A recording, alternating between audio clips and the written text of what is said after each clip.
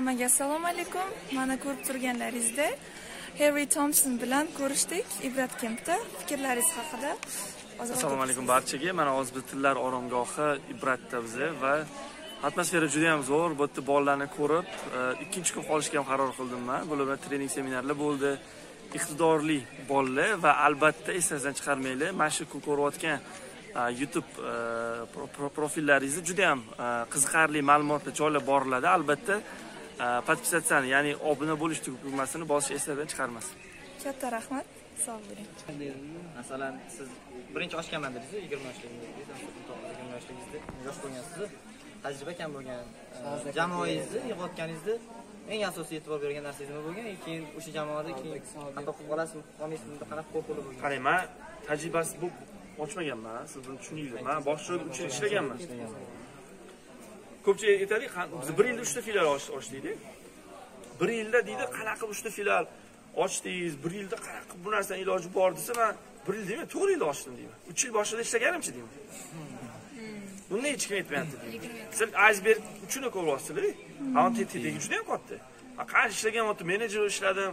U qancha protsesslar bo'ldi deyapti tushunyapsizmi shuning uchun sizlar harakat qilinglar Э, tajriba orttirishga. Endi boshida qanaqasi xodim olgansiz desa e, akmal fayziyevni gaplari borda. E, bitta xatoni bir marta qiling deydi.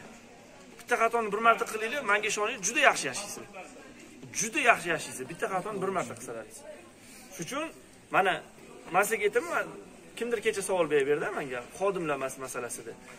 Bitta xodim ishdan ketdi. Birinchi dekabr oyida man unga olti million oylik berdim. Olti million oylikni ham olib ketdi.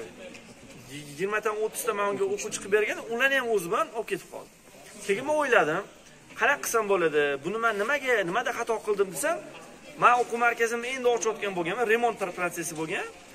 U odam mani tengdoshim bo'lgan. Unga muammolarimni aytganman yuragimni ochganman qiynalayotganlarimni aytganmanda keyin unda shunaqa ощущение bo'lgan man keyin bildim bu narsani. Uni o'zi qiynalyaptiyu manga qanaqa qiladi? Direktorlik qiladi bu. Mani tengdoshim bo'lsa. Man bu yerda o'ttizta o'quvchiga dars beryapman o'zi.